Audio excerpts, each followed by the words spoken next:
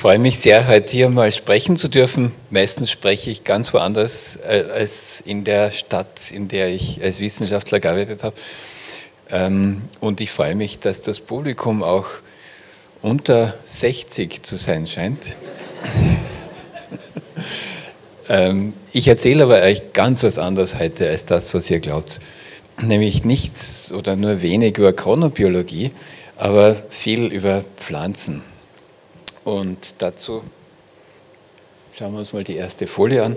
Das ist ein Projekt, das wir jetzt derzeit machen und das heißt Freundschaft mit der Natur.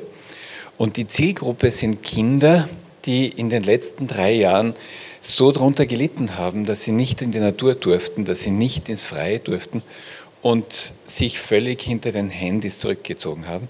Und wir möchten in Schulen Projekte machen, wo diese Kinder wieder mit der Natur in Zusammenhang kommen.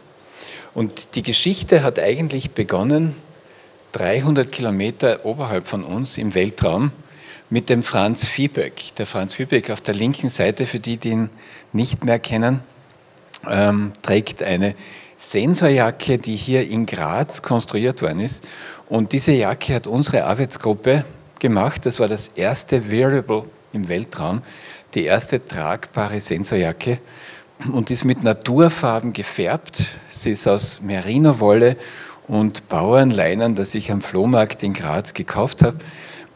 Ähm, und das ging dann in den Weltraum und hat zehn Jahre lang die russischen Kosmonauten begleitet, die mit dieser Jacke gemessen wurden und haben, so haben wir ihre Gesundheit gemessen. Und es ist uns ähm, anhand dieses ähm, dieser Messungen erst bewusst geworden, dass die Medizin eigentlich hauptsächlich die Krankheit misst und dass die Menschen eigentlich viel glücklicher wären, wenn ihre Gesundheit gemessen werden könnte. Wir sind noch auf der Suche nach einem Investor, der in den Bereich Gesundheit investieren möchte. Falls ihr jemanden wisst, sagt es weiter. Wir haben eine Jacke, die kann Gesundheit messen. Nun der zweite Schritt, der sozusagen auch in diese Richtung geht, ist das SETI-Projekt. Ähm, Search for a Lion Life, ähm, also für Außerirdische. Hier werden Milliarden an ähm, Dollar und Euros hineingebuttert nach, nach, auf der Suche nach Außerirdischen. Und es ist ganz interessant, dass wir über die Rückseite des Mondes mehr wissen als über die Tiefsee der Erde. Und das ist etwas, was uns auch auf die Idee gebracht hat, dass wir gesagt haben, wenn man schon mit Außerirdischen kommuniziert, dann könnte man vielleicht auch mit Irdischen kommunizieren, mit denen wir bisher sehr wenig zu tun haben. Und das sind die Pflanzen. Und so haben wir angeregt auch durch Artikel in großen Wissenschaftszeitschriften, New Scientist, die radikal neuen Experimente, die zeigen, dass Pflanzen ein Bewusstsein haben oder hier Science Focus von BBC, wilde Ideen in der Wissenschaft, Pflanzen könnten ein Bewusstsein haben. Und so bin ich auf eine Gruppe gestoßen, die sich schon seit einigen Jahren mit der Musik der Pflanzen beschäftigt. Und wir haben dann die botanische Literatur abgesucht, ob das etwas ist, was wirklich Substanz hat. Und da hat sich herausgestellt, dass Pflanzen reagieren, zum Beispiel auf Bienen. Ganz oben links sieht man ein äh, Experiment, das vor kurzem durchgeführt wurde. Da hat man verschiedene Pflanzen bei einer Nachtkerze, äh, ähm, also Nachtkerzenpflanzen mit verschiedenen Tönen beschallt und es hat sich herausgestellt, dass die nur beim Ton der Biene, der Honigbiene, die Nektarproduktion sofort erhöht haben und 30 Prozent mehr Zucker im Nektar hatten. Das heißt, die Nachtkerze kann offensichtlich hören, obwohl sie keine Ohren hat. Und was ähnliches hat man bei der Kresse beobachtet, das ist hier links herunten. Wenn diese Kresse das Fressgeräusch von Raupen hört, das ist so ein, klingt so dann beginnt sie sofort Abwehrstoffe gegen diese Raupe zu produzieren und diese Wirkstoffe werden eben durch das Geräusch spezifisch ausgelöst. Nicht, wenn man die Blätter biegt oder sonst irgendwas damit macht, sondern nur dieses das verursacht diese Wirkstofferhöhung.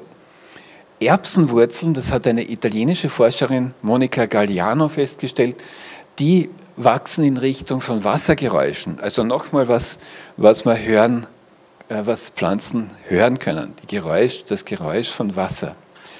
Und jetzt kommt das Verrückteste, eine Winde aus Chile, bei der ist man draufgekommen, dass die immer die Blätter ihrer Unterlage nachmacht.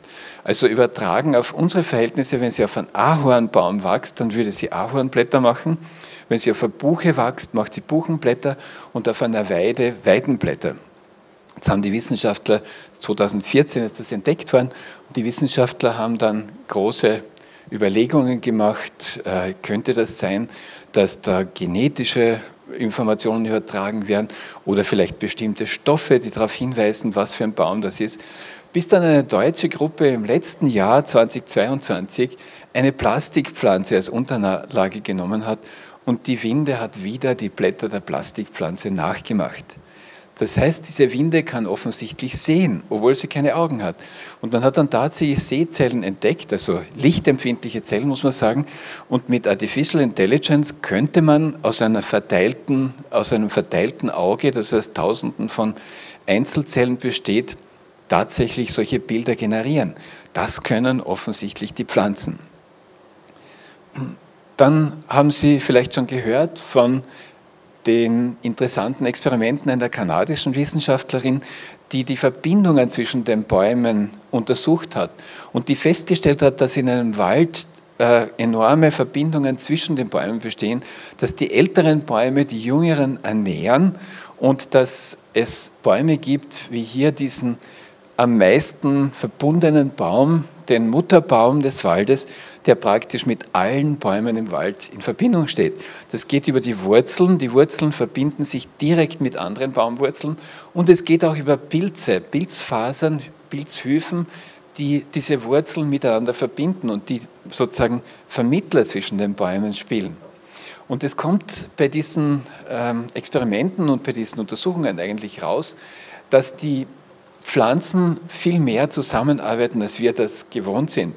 Wir lernen den Darwinismus so, dass das der Kampf aller gegen alle ist und übertragen das auf unsere Gesellschaft und in der Wirtschaft wird gesagt, wir müssen möglichst egoistisch sein, dann sind wir gut in der Wirtschaft.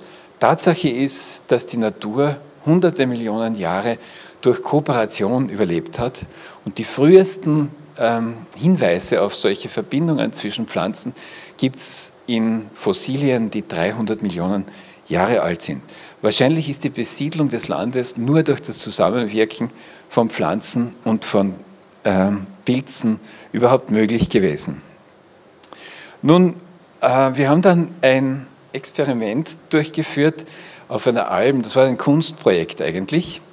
Und ja, ich lasse da den ORF für uns sprechen.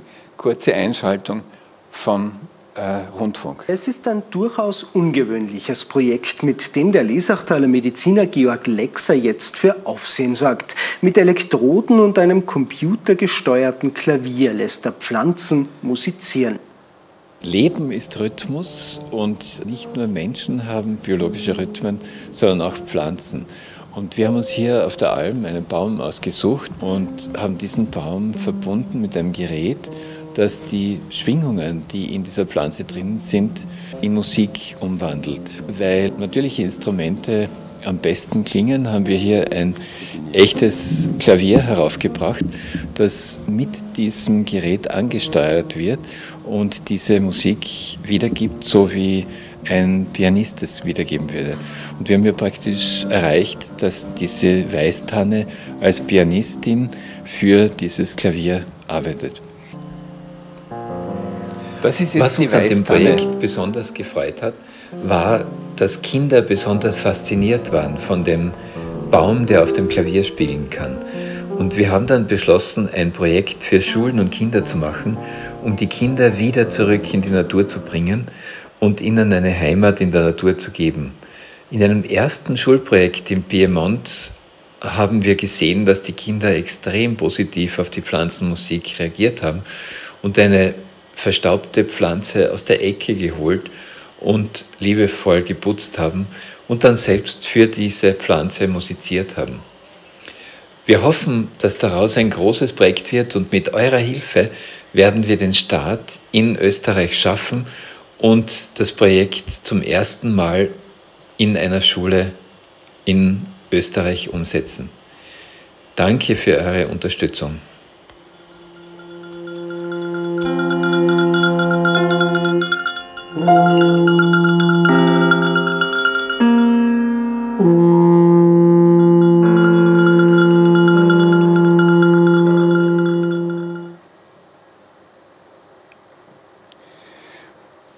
Das Experiment hat so funktioniert, dass wir hier eine Bodenelektrode hatten, von der der Strom zu dem Gerät geleitet wurde und eine Elektrode am Blatt.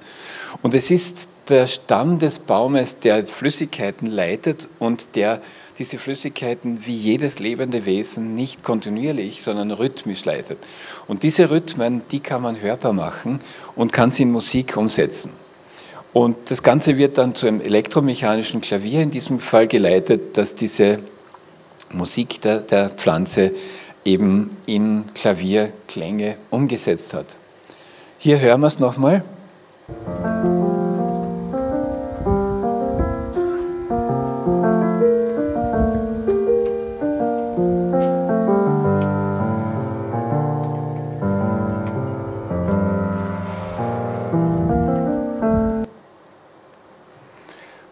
Man sieht hier wie so ein Baumquerschnitt ausschaut.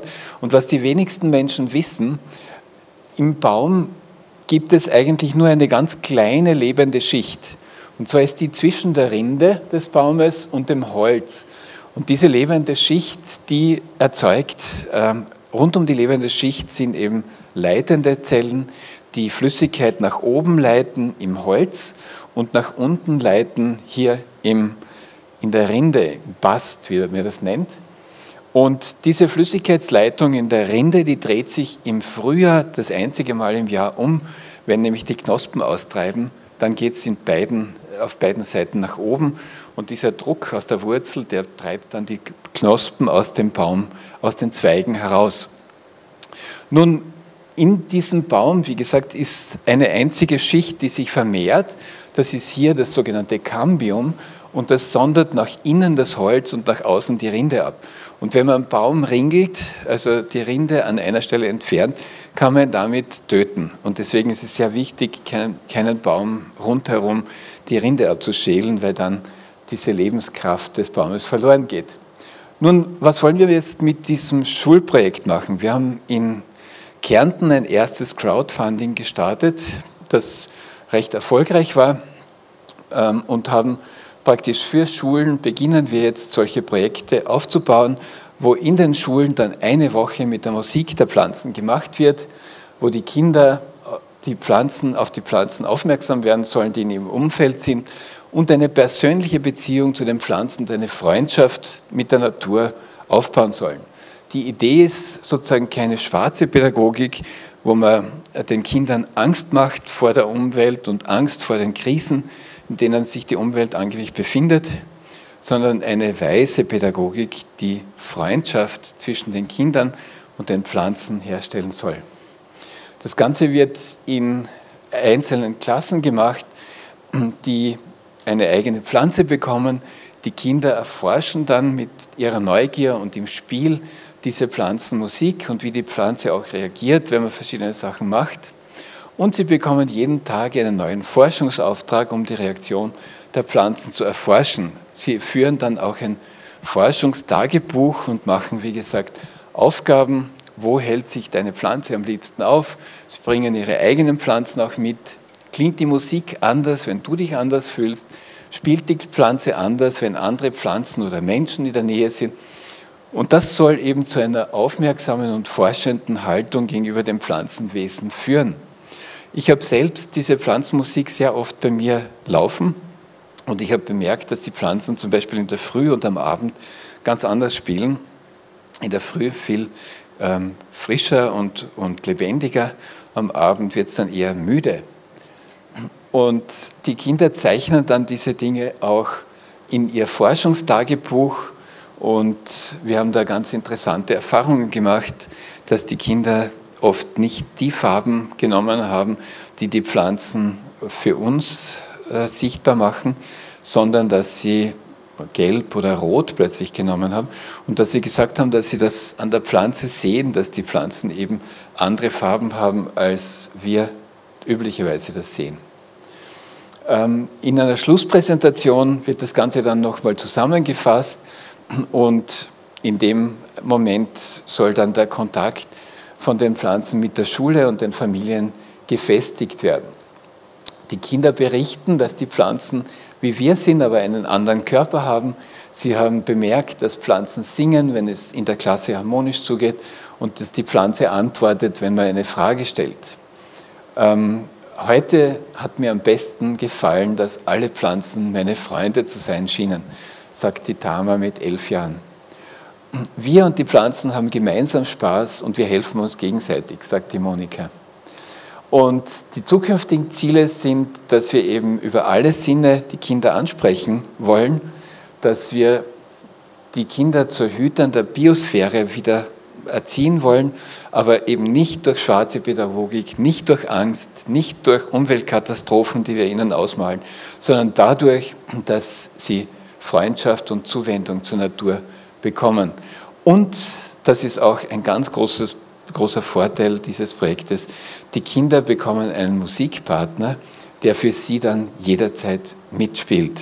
Sie sind nie mehr allein, auch wenn sie Einzelkinder sind, weil sie immer die Pflanze haben, die mit ihnen musizieren.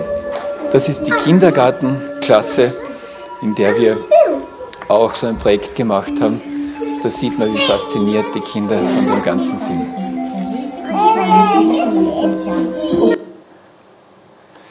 Und das hier ist der Kontakt zu dem Ganzen und ich habe jetzt noch etwas mitgebracht, das neueste Gerät, das wir auf diesem Gebiet entwickelt haben. Und dieses Gerät ist auch in der Lage, Noten zu schreiben. Das werden wir jetzt gleich sehen. Ähm, kann man den Ton? Geht schon. Das, was jetzt spielt, ist diese Zyklame hier. Und ich versuche jetzt noch das Bild raufzubringen.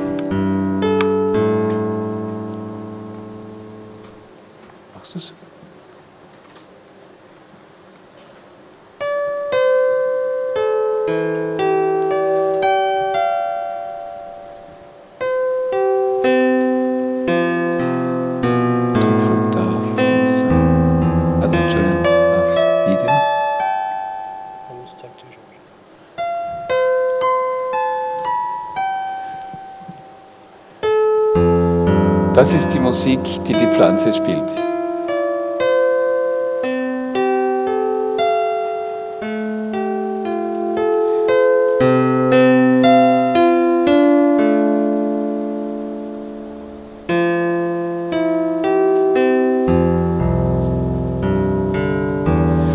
Und damit möchte ich mich ganz herzlich für die Aufmerksamkeit bedanken und für die faszinierten Blicke, die ich im Publikum gesehen habe. Dankeschön.